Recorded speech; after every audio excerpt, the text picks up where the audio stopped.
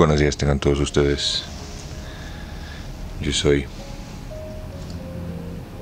el famosísimo Barbitas de la Sierra y estamos aquí una vez más en su programa favorito, El Círculo de Lectura, para continuar con esta versión de Ensayos de la Lectura de mi camarada brasileiro José Saramago. Salud. Hace frío aquí, en la capital del corrido. Pero, pues eso nos quita las ganas, ¿no? Así que,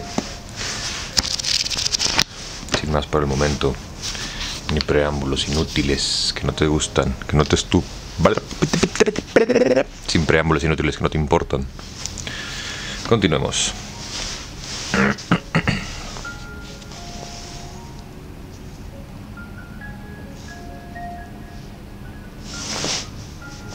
La ocurrencia había brotado de la cabeza del ministro mismo. Era, por cualquier lado que se le exagera, examinara, una idea feliz, incluso perfecta, tanto en lo referente a los aspectos meramente sanitarios del caso como a sus implicaciones sociales y a sus derivaciones políticas. Mientras no se aclarasen las causas, o para emplear un lenguaje adecuado, la etiología del mal blanco, como gracias a la inspiración de un asesor imaginativo, la malsonante palabra ceguera sería designada mientras no se encontrara para aquel mal tratamiento y cura, y quizá una vacuna que previniera la aparición de casos futuros. Todas las personas que se quedaran ciegas y también quienes con ellas hubieran tenido contacto físico. El gas.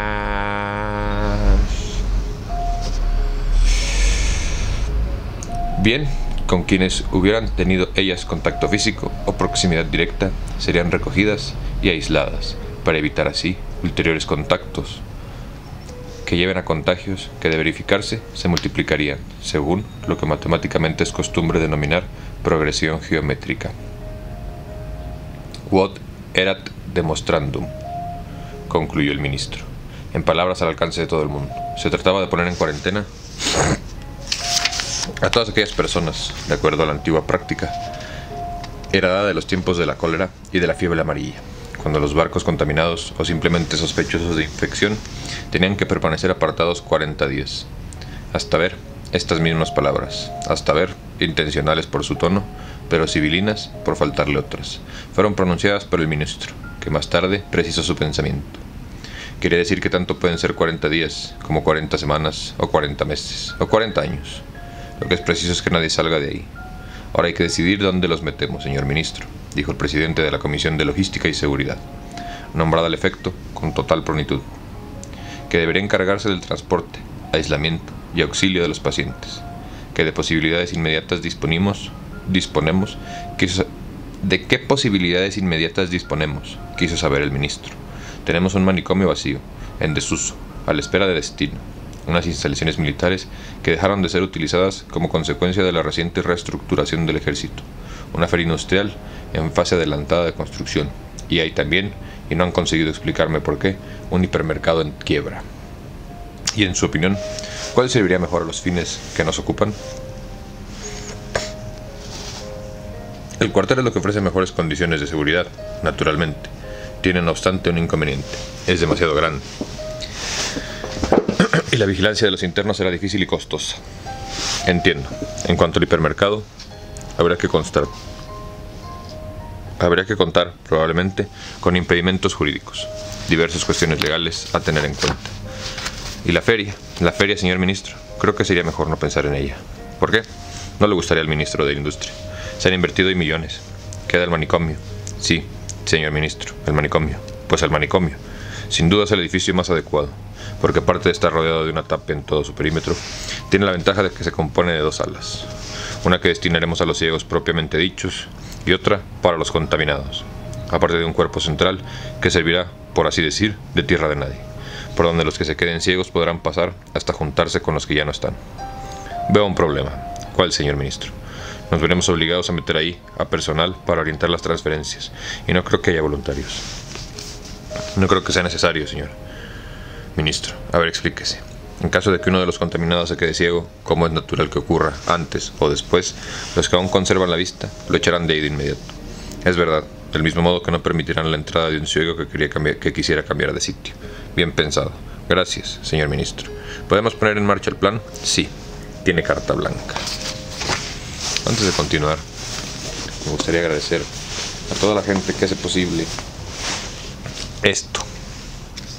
En especial a la bola de gente que se ha inscrito desde el último video. La verdad, les mando besitos, pónganselos donde más les guste. Y le mando un saludo a mi amigo Alberto Sarbac. O Sarbach. Yo creo que Sarbac, como el músico. Gracias por hacer posible esto. Recuerden que con su like y sus comentarios nos ayudan a llegar a más personas.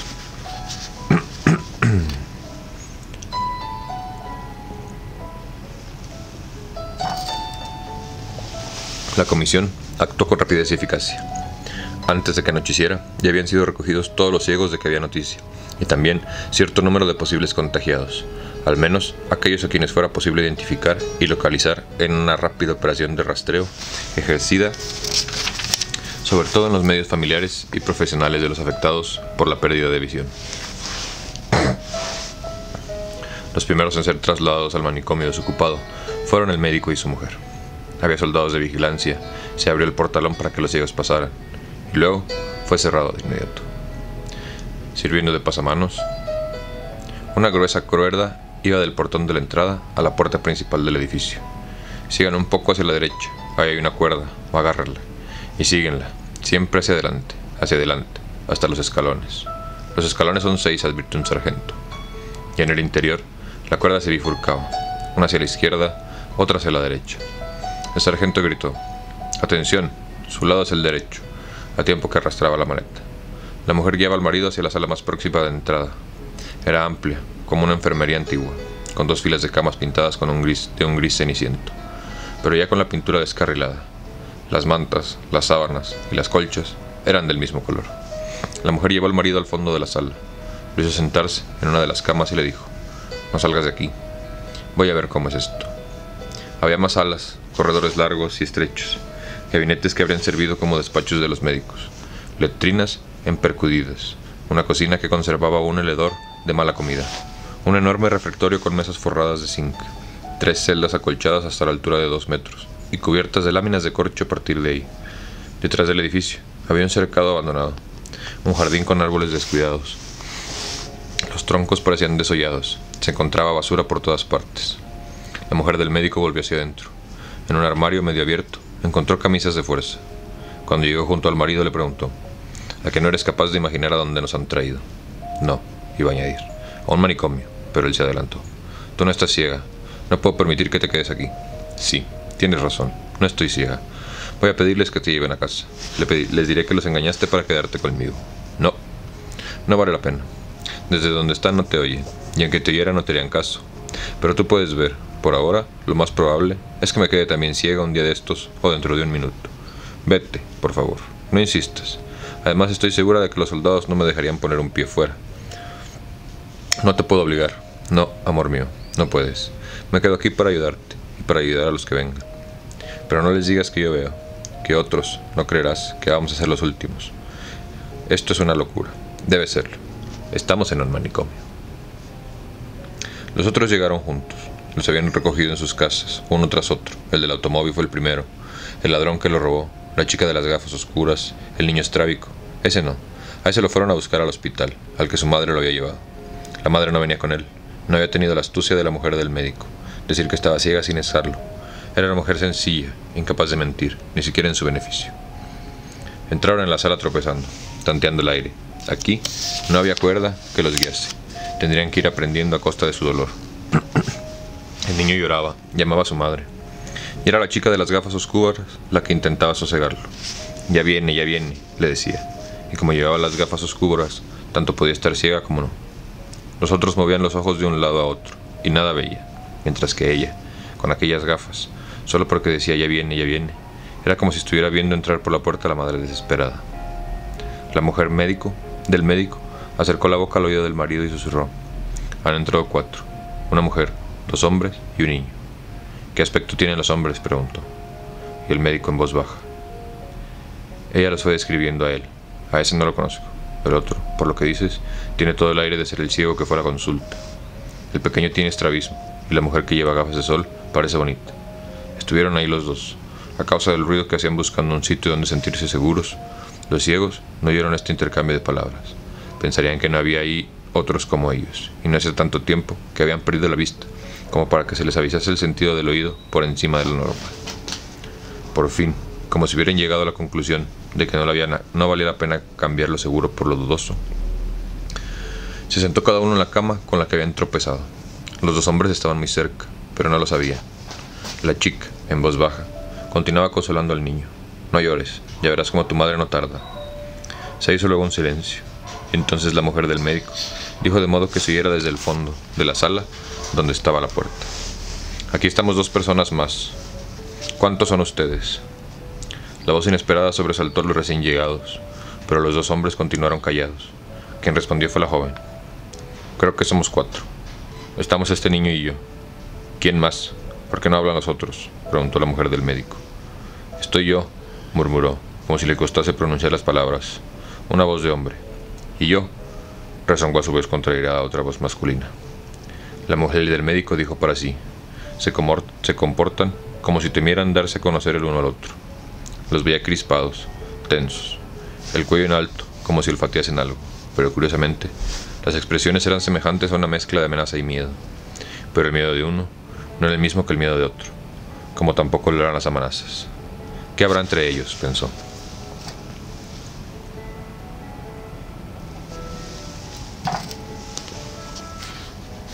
En aquel mismo instante, se oyó una voz fuerte y seca de alguien, pero el tono habituado a dar órdenes Venía de un altavoz colocado encima de la puerta por la que habían entrado. La palabra atención fue pronunciada tres veces. Venía de un altavoz. Luego empezó la voz.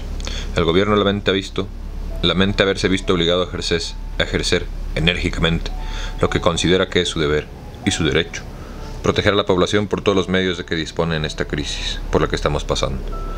Cuando parece comprobarse algo semejante a un brote epidémico de ceguera, provisionalmente llamado mal blanco. Desearía contar con el civismo y la colaboración de todos los ciudadanos para limitar la propagación del contagio. en el supuesto de que se trate de un contagio, y no una serie de coincidencias por ahora inexplicables. La decisión de reunir en un mismo lugar a los afectados por el mar, por el mal, y en un lugar próximo por separado, pero separado, aquellos con los que mantuvieron algún tipo de contacto, no ha sido tomada sin ponderar seriamente las consecuencias. El gobierno conoce plenamente sus responsabilidades y espera que aquellos a quienes se dirige este mensaje asuman también, como ciudadanos conscientes, que sin duda son, las responsabilidades que les corresponden. Pensando que el aislamiento en que ahora se encuentran representará, por encima de cualquier otra consideración personal, un acto de solidaridad para con el resto de la comunidad nacional. Dicho esto, Pedimos la atención de todos hacia las instituciones siguientes. Primero, las luces se mantendrán siempre encendidas y será inútil cualquier tentativa de manipular los interruptores, que por otra parte no funciona. Segundo, abandonar el edificio sin autorización supondrá la muerte inmediata de quien lo intente. Tercero, en cada sala hay un teléfono que solo podrá ser utilizado para solicitar del exterior la reposición de los productos de higiene y limpieza. Cuarto, los internos lavarán manualmente sus ropas. Quinto, se recomienda la elección de, responsables de sala. Se trata de una recomendación, no de una orden. Los internos se organizarán como crean conveniente, a condición de que cumplan las reglas anteriores y las que seguidamente vamos a enunciar. Sexto, tres veces al día se depositarán cajas con comida en la puerta de entrada, a la derecha y a la izquierda destinadas respectivamente a los pacientes y a los posibles contagiados. Séptimo, todos los restos deberán ser quemados, considerándose restos, a todo efecto, aparte de la comida sobrante, las cajas, los platos, los cubiertos, que están fabricados con material combustible. Octavo, la quema deberá de ser efectuada en los patios interiores del edificio o en el cercado. Noveno, los internos son responsables de las consecuencias negativas de la quema. Décimo, en caso de incendio, sea este fortuito o intencionado, los bomberos no intervendrán. Un décimo, tampoco deberán contar los internos con ningún tipo de intervención exterior, en el supuesto de que sufran cualquier otra dolencia, y tampoco, en el caso de que haya entre ellos agresiones o desórdenes. Dúo décimo. En caso de muerte, cualquiera que sea la causa, los internos enterrarán sin formalidades el cadáver del cercado. En el cercado. Décimo tercero. La comunicación entre el ala de los pacientes y el ala de los posibles contagiados será por el cuerpo central del edificio, el mismo por el que han, por el que entrado. Décimo cuarto. Los contagiados, que se queden ciegos, se incorporarán inmediatamente al ala segunda, en la que están los invidentes. Décimo quinto. Esta comunicación será repetida todos los días, a esta misma hora, para conocimiento de los nuevos ingresados. El gobierno y la nación esperan que todos cumplan con su deber. Buenas noches. ¿A qué le suena? ¿A qué le suena? Paréntesis cultural. ¿A qué le suena? ¿A qué pandemia de las últimas épocas se parece esto? ¿Y qué gobiernos que no eran autoritarios se convirtieron en completamente autoritarios? ¿No? Ah, como por ejemplo, ¿qué país que es una isla le quitó el poder a su parlamento para darlo exclusivamente a su primer ministro? Eh, les voy a dar una pista. Llevan creo que tres o cuatro primeros ministros en lo que va de que les gusta el año pasado y este. ¿A quién se parece toda la literatura de antaño? ¿Y cómo es que se repite tanto en nuestra época? Piénsalo si es que puedes pensar. Si es que todavía se puede en tu país. En el silencio que siguió estas palabras, siguió la voz del niño. Quiero ver a mi madre. Pero las palabras fueron articuladas sin expresión, como un mecanismo repetidor automático, que antes hubiera dejado en suspenso una frase, y ahora, fuera de tiempo, la soltaste. El médico dijo, las órdenes que acabamos de oír, que acabamos de oír, no dejan dudas. Estamos aislados, más aislados de lo que probablemente jamás lo estuvo alguien anteriormente, y sin esperanza de poder salir de aquí, hasta que se descubra un remedio contra la enfermedad. Conozco su voz, dijo la chica de las gafas oscuras. Soy médico, médico oftalmólogo. Es el médico a quien fui a ver ayer. Es su voz. Sí. ¿Y ustedes quién es? Tenía una conjuntivitis. Supongo que la tengo aún. Pero ahora ciega ya. La cosa no debe de tener la menor importancia. ¿Y ese niño que está con usted? No es mío. No tengo hijos. Ayer examiné a un niño con estrabismo. ¿Eras tú? preguntó el médico. Sí, señor. La respuesta del niño salió con un tono de despecho como si no le gustara que mencionasen su defecto físico. Y tenía razón, que defectos tales, estos y otros, solo por el hecho de hablar de ellos, pasan de males perceptibles a males evidentes. ¿Hay alguien a quien no conozca? volvió a preguntar el médico. Está aquí el hombre que fue ayer a mi consultorio, acompañado por su esposa, el que se quedó ciego de repente cuando iba en su coche. Soy yo, respondió el primer ciego. Hay otra persona aún. Que diga quién es, por favor. Nos han obligado a vivir juntos. No sabemos por cuánto tiempo. Es indispensable que nos conozcamos los unos a los otros. El ladrón del coche murmuró entre dientes. Sí, sí, creyó que aquello era suficiente para confirmar su presencia, pero el oculista insistió. La voz suena como de alguien relativamente joven. Usted no es el enfermo de avanzada edad, el que tenía catarata en un ojo. No, doctor, no lo soy. ¿Y cómo se quedó ciego? Iba por la calle. ¿Y qué más? Nada más. Iba por la calle y me quedé ciego. El médico abrió la boca para preguntar si su ceguera era también blanca, pero se cayó. ¿Para qué? ¿De qué servía? Fuese cual fuese la respuesta, blanca o negra, la ceguera, de ahí no iban a salir. Tendió la mano vacilante, hacia su mujer y encontró la mano de ella en el camino. La mujer le besó la cara. Nadie más podía ver esta frente marchita, la boca apagada, los ojos muertos, como de cristal, atemorizadores, porque parecían ver y no ver. También me llegaría el turismo, también me llegará el turno, pensó cuando tal vez, en este mismo instante, sin darme tiempo a acabar lo que estoy diciendo, en cualquier momento como ellos, o tal vez despierte ciega. Me quedaré ciega al cerrar los ojos para dormir y creeré que solo me he quedado dormida.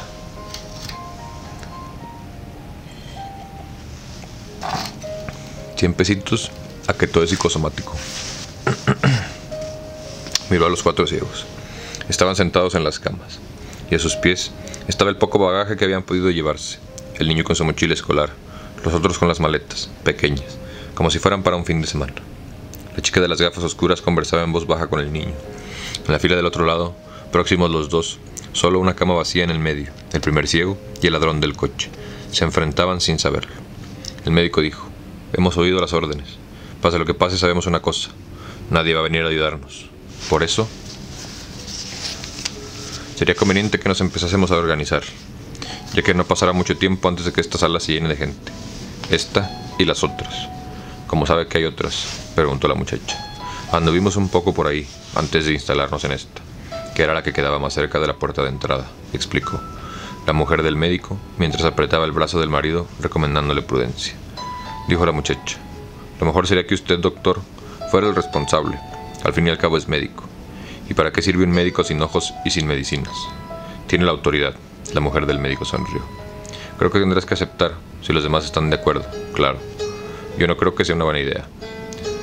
Porque por ahora solo somos seis, pero mañana seguro seremos más. Todos los días llegará gente, Sería apostar por lo imposible, figurarse que iban a estar dispuestos a aceptar una autoridad que no han elegido y que, además, nada les puede dar a cambio de su acatamiento. Esto suponiendo que reconocieran una autoridad y una reglamentación. Entonces va a ser difícil vivir aquí. Tendremos mucha suerte si solo es difícil, la chica de las gafas oscuras dijo. Mi intención era buena, pero, realmente, el doctor tiene razón. Aquí cada uno va a tirar por su lado.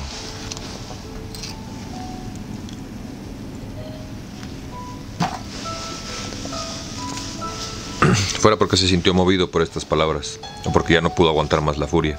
Uno de los hombres se puso en pie bruscamente. Este tipo es el que tiene la culpa de nuestra desgracia.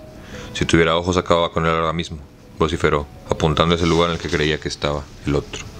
El desvío no era grande, pero lo dramático del gesto resultó cómico, porque el dedo acusador, tenso, indicaba hacia una mesita de noche. Calma, dijo el médico. En una epidemia no hay culpables, todos son víctimas. Si yo no hubiera sido la buena persona que fui, si no le hubiera ayudado a llegar a su casa, aún tendría mis benditos ojos. ¿Quién es usted? preguntó el médico, pero el acusador no respondió, y ya parecía contrariado por haber hablado. Entonces se oyó la voz del otro. Me llevó a casa, es verdad, pero luego se aprovechó de mi estado para robarme el coche. No es verdad, yo no robé nada. Lo robó, sí señor, lo robó. Si alguien le violó el coche, no fui yo. El pago que he recibido por mi buena acción es quedarme ciego. Además, ¿dónde están los testigos? A ver, los testigos. La discusión no resuelve nada, dijo la mujer del médico. El coche está allá afuera y ustedes están aquí dentro. Es mejor que hagan las paces. Recuerden que vamos a tener que vivir juntos. Sé bien quién no va a vivir con él. Ustedes hagan lo que les dé la gana, pero yo me voy a otra sala. No me quedo aquí con un bribón como este, capaz de robarle un ciego. Se queja de que por mi culpa se quedó ciego, pues eso demuestra que todavía hay justicia en el mundo. Cogió la maleta y arrastrando los pies para no tropezar, tanteando con la mano libre, salió al pasillo que separaba las dos filas de camas. ¿Dónde están las otras salas? preguntó, pero no llegó a oír la respuesta, si es que alguien se le dio, porque de repente le cayó encima una confusión de brazos y piernas. El ladrón de coche cumplía como podía su amenaza, de desquite contra el causante de sus manlas, uno abajo otro encima, rodaron por aquel apretado espacio, mientras de nuevo, asustado, el niño estrábico volvió a llorar y a llamar a su madre. La mujer del médico tomó al marido por el brazo. Sabía que sola no iba a poder acabar con la pelea. Y lo llevó por el corredor, hasta el lugar donde se debatían, jadeantes, los furiosos combatientes. Guió las manos del marido. Ella, personalmente, se encargó del ciego que estaba más cerca. Y así, con gran esfuerzo, consiguieron separarlos. Se están comportando ustedes estúpidamente, gritó el médico. Si lo que quieren es convertir esto en un infierno, pueden seguir, van por buen camino. Pero recuerden que estamos entregados a nosotros mismos que no vamos a recibir ninguna ayuda de fuera. Ya han oído lo que dijeron. Es que me robó el coche, se lamentó el primer ciego, más deteriorado que el otro. ¿Y qué importa el coche ahora? dijo la mujer del médico. Cuando se lo robaron, tampoco podía servirse de él, pero era mío. Y este ladrón se lo llevó. No sé a dónde. Lo más probable, dijo el médico, es que su coche esté en el sitio donde este hombre se quedó ciego. Tiene usted razón, doctor. Se nota que sabe. Ahí estará sin duda, dijo el ladrón. El primer ciego hizo un movimiento como para soltarse de las manos que lo sujetaban, pero sin forzar, como si hubiese comprendido que ni la indignación, por justificarse que estuviese, iba a devolverle el coche, ni el coche iba a devolverle la vista. Pero el ladrón amenazó de nuevo. Si crees que no te va a ocurrir nada, te equivocas. Si fui yo quien te robó el coche, pero tú me has robado a mí la vista de mis ojos. A ver quién de los dos es más ladrón.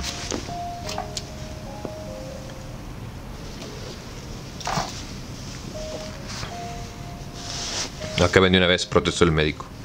Todos aquí estamos ciegos y no nos quejamos ni acusamos a nadie. Mucho me importa a mí el mal de los otros, dijo el ladrón, desdeñoso. Si quiere irse a otra sala, dijo el médico al primer ciego, mi mujer podrá llevarlo. Ella se orienta mejor que yo. He cambiado de idea. Prefiero quedarme aquí. El ladrón se burló. El niño tiene miedo a estar solito. No se le vaya a parecer un, un sacamantecas. Que yo sé. Basta, gritó el médico impaciente. Mire, doctorcillo, resongó el ladrón. Aquí todos somos iguales. A mí no me da usted órdenes. No le estoy dando órdenes. Solo dijo que, que, que deje a este hombre en paz. Sí, sí, pero cuidadito conmigo. Que no se me hinchen las narices. Que pronto se me acaba la paciencia. ¿Qué? Ah, bueno. No hay otro como yo. Pero a las malas nadie me gana. Con gestos y movimientos agresivos, el ladrón buscó la cama donde había estado sentado. Empujó la maleta debajo y dijo luego, me voy a acostar. Y por el tono, fue como si dijese, vuélvanse, que me voy a desnudar. La chica de las gafas oscuras le dijo al niño estrábico, tú también tienes que meterte en cama. Ponte aquí, a este lado. Y si de noche necesitas algo, me lo dices. Quiero hacer pipí, dijo el niño. Al oírlo, todos sintieron unas súbitas y urgentes ganas de orinar. Pensaron, con estas o con otras palabras, a ver cómo se resuelve esto ahora. El primer ciego palpó debajo de la cama buscando un urinal, pero al mismo tiempo deseando que no lo hubiera, porque le daría vergüenza orinar en presencia de otras personas, que no podían verlo, desde luego, pero el ruido es indiscreto, indisimulable. Los hombres, al menos, pueden usar un truco que no está al alcance de las mujeres. En eso tienen más suerte. El ladrón se había sentado en la cama y decía ahora: Mierda, a ver a dónde se me en esta casa. Ojo con las palabras que hay un niño, protestó la chica de las gafas oscuras.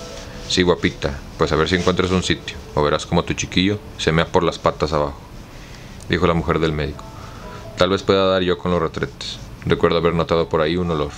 Yo voy con usted, dijo la chica de las gafas, cogiéndole la mano al niño. Mejor será que vayamos todos, observó el médico. Así sabremos el camino. Te entiendo, amigo, esto lo pensó el ladrón del coche, pero no se atrevió a decirlo en voz alta. Lo que tú no quieres es que tu mujercita tenga que llevarme a mear cuando me apetezca. El pensamiento, por el segundo sentido implícito, le provocó una pequeña erección que le sorprendió, como si el hecho de estar ciego debiera tener como consecuencia la pérdida o disminución del deseo sexual. Bien, pensó, no se ha perdido todo. Entre muertos y heridos alguno escapará, y desentendiéndose de la conversación, empezó a fantasear. No le dieron el tiempo. No le dieron tiempo, el médico ya estaba diciendo. Formamos una fila, mi mujer va adelante, cada uno pone la mano en el hombro del que va adelante.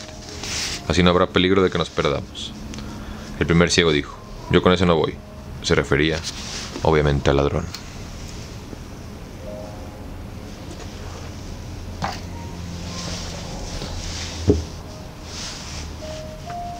Sea porque se buscaban, sea porque se evitaban. El hecho es que apenas se podían mover entre el estrecho pasillo, entre las camas, tanto más cuanto que la mujer del médico tenía que actuar, también como si estuviese ciega. Al fin quedó la fila ordenada.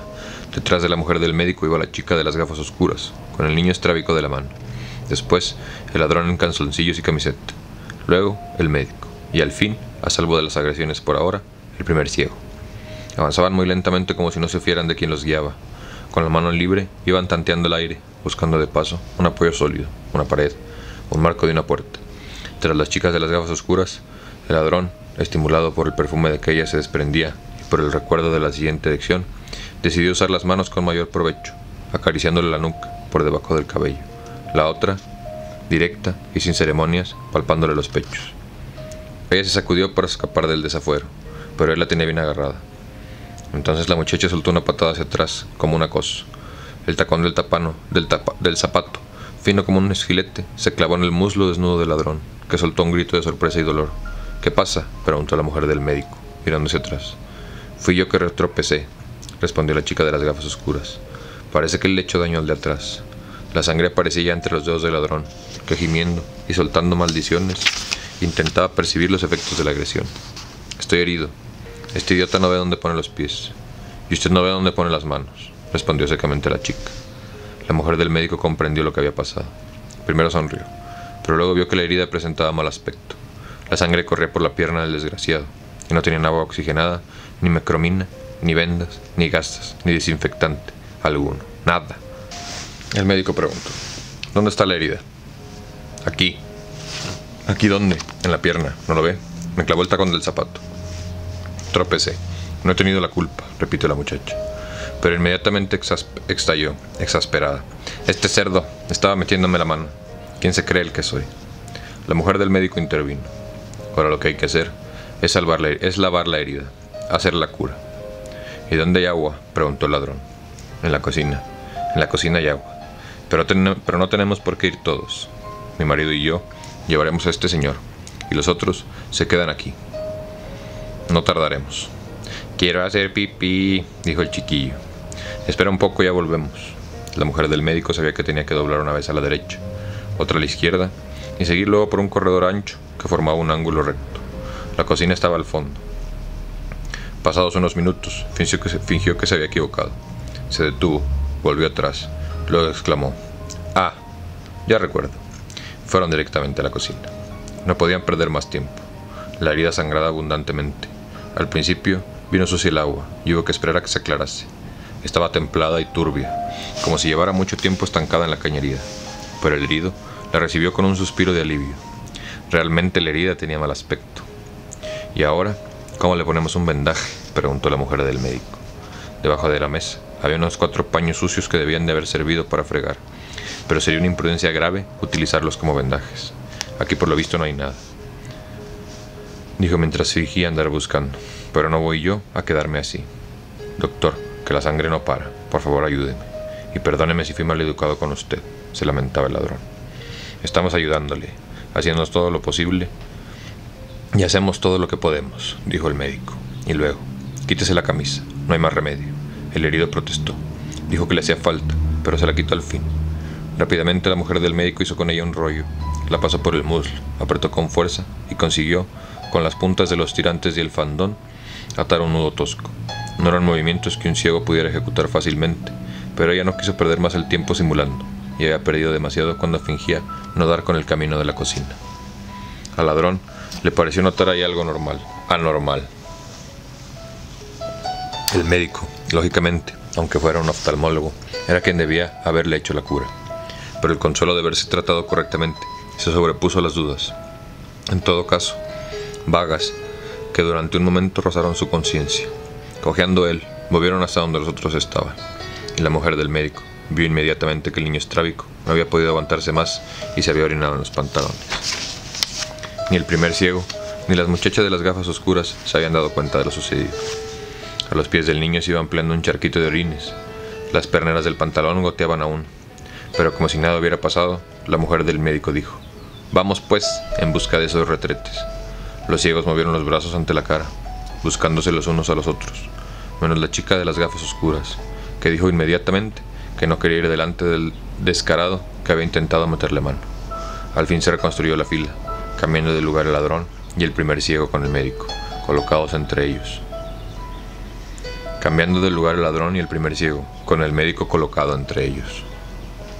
El ladrón cojeaba más, arrastraba la pierna, el torniquete le molestaba, y la herida parecía latir con tanta fuerza que como si el corazón se le hubiera cambiado de sitio, y se encontrara ahora en el fondo del agujero. La chica de las gafas oscuras llevaba de nuevo al niño de la mano, pero este se apartaba todo lo que podía hacia un lado con miedo a que alguien descubriera su incontinencia, como el médico, que observó. Aquí huele orines, y la mujer creyó que debía de confirmar la impresión. Sí, realmente hay un olor. No podía decir que venía de las letrinas, porque aún estaban lejos, y teniendo que comportarse como si fuese ciega, tampoco podía revelar que el olor venía de los pantalones empapados del chiquillo. Tirín. Cuando llegaron a los retretes, hombres y mujeres se mostraron de acuerdo que fuera el niño el primero en aliviarse pero los hombres acabaron de entrar juntos, sin distinción de urgencias ni edades. El migitorio era colectivo. En un sitio como este tenía que serlo, y los retretes también lo eran. Las mujeres se quedaron en la puerta. Dicen que aguantan más, pero todo tiene sus límites, y al cabo de un momento, la mujer del médico sugirió, tal vez hay otros servicios, pero la chica de las gafas oscuras dijo, por mí puedo esperar. Yo también dijo la otra. Después se hizo un silencio, y luego empezaron a hablar de nuevo. ¿Cómo se quedó ciega? Como los demás. De repente dejé de ver. Estaba en casa. No. Entonces fue cuando salió del consultorio de mi marido. Más o menos. ¿Qué quiere decir más o menos? Que no fue inmediatamente después. ¿Sintió dolor? Dolor no. Pero cuando abrí los ojos estaba ciega. Yo no. ¿No qué? No tenía los ojos cerrados. Me quedé ciega en el momento en el que mi marido subió a la ambulancia. Pues tuvo suerte. ¿Quién? Su marido. Así podrían estar juntos. En ese caso también yo estuve suerte. Claro. ¿Y usted está casada? No, no lo estoy. Y a partir de ahora, no creo que nadie quiera casarse. pero esta ceguera es tan anormal, tan fuera de lo que la ciencia conoce, que no podrá durar para siempre. Y si nos quedáramos así, para toda la vida, nosotros, todos, sería horrible. Un mundo todo de ciegos. No quiero ni imaginarlo. Deberían de venir a vivir el 2023. El niño estrábico fue el primero en salir del retrete. Ni tenía por qué haber entrado. Tenía los pantalones enrollados hasta media pierna y se había quitado los calcetines. Dijo, ya estoy aquí. La mano de la chacas, chica de las gafas oscuras se movió inmediatamente en dirección de la voz. No acertó la primera ni la segunda, pero la tercera encontró la mano vacilante del pequeño. Poco después apareció el médico y luego el primer ciego. Uno de ellos preguntó, ¿dónde están? La mujer del médico había cogido ya del brazo al marido y el otro brazo fue tocado y agarrado por la chica de las gafas oscuras. El primer ciego no tuvo durante unos segundos quien lo amparase. Después, alguien le puso una mano en el hombro. ¿Estamos todos? preguntó la mujer del médico. El de la pierna herida se ha quedado aliviando otra urgencia, respondió el marido. Entonces, la chica de las gafas oscuras dijo, quizá haya otros retretes. Empiezan a aguantar más. Perdonen. Vamos a ver si los hay, dijo la mujer del médico. Y se alejaron con las manos cogidas. Pasaron unos diez minutos. Volvieron. Habían encontrado un gabinete de consulta que tenía unos servicios anexos. El ladrón salía del retrete. Se quejaba del frío y de dolores de la pierna. Rehicieron la fila, por el mismo orden en que vinieron y con menos trabajo que antes. Y ningún accidente. Regresaron a la sala. Con habilidad, sin que se notara, la mujer del médico les ayudó a alcanzar la cama correspondiente, la misma en la que estaban antes. Fuera de la sala, como si se tratara de algo obvio, recordó que la manera más fácil de que cada uno encuentre su sitio era contar las camas a partir de la entrada. Las nuestras son las últimas del lado derecho, la 19 y la 20. El primero en avanzar por el pasillo fue el ladrón. Estaba casi desnudo, tenía temblores, quería limpiar la pierna dolorida, razones suficientes para que le dieran primacía. Fue yendo de cama en cama, palpando el suelo en busca de la maleta, y cuando la reconoció dijo en voz alta, Aquí está, y añadió, 14. ¿De qué lado? preguntó la mujer del médico. El izquierdo, respondió otra vez vagamente sorprendido como si ella debiera saberlo, sin tener que preguntar. Luego le tocó el turno al primer ciego. Sabía que su cama era la segunda a partir de la del ladrón, del mismo lado. Ya no tenía miedo de dormir cerca de él. Estando como estaba con la pierna, era tan mísero estado, a juzgar por los lamentos y los suspiros. Apenas se podría mover. Cuando llegó dijo, 16 izquierdo, y se acostó vestido. Entonces la chica de las gafas oscuras pidió en voz baja, ayúdenos a quedarnos cerca de ustedes, enfrente, del otro lado. Ahí estaremos bien. Avanzaron los cuatro y rápidamente se instalaron. Pasados unos minutos, el niño estrábico dijo, tengo hambre. Y la chica de las gafas oscuras murmuró, mañana, mañana comemos, ahora duerme. Luego abrió el bolso y buscó el frasquito que había comprado en la farmacia. Se quitó las gafas, inclinó hacia atrás la cabeza y con ojos muy abiertos, guiando la mano con la otra, hizo gotear el coliro. No todas las gotas cayeron en los ojos, pero la conjuntivitis, así, también tratada, no tardará en curarse. Así la vamos a dejar el día de hoy. La verdad, tengo un par de cosas que hacer. Y bueno, pues muchas gracias por venir. Como siempre, yo soy el Barbitas. Y fíjate que me parece que este ensayo sobre la ceguera habla un poco más eh, de la situación social en la que vivimos que de una pandemia de ceguera, ¿no? Acuérdense que hay que aprender a leer entre líneas y hay que aprender a ver qué es lo que nos están diciendo los autores más allá de lo que nos están platicando, ¿no? Voy a trabajar en la monetilla del no. Muchas gracias por venir a su círculo de lectura. Yo soy Barbitas. Recuerden dejar su like, suscribirse o mentarme la madre en los comentarios. Nos vemos.